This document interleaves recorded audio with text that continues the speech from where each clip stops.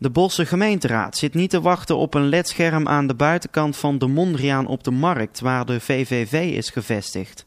Het college wilde daar 100.000 euro voor uittrekken.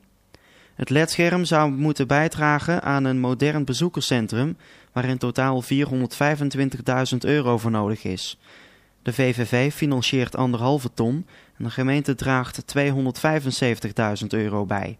Volgens het plan van het college zou het ledscherm dag en nacht reclame maken voor stadpromotie en citymarketing.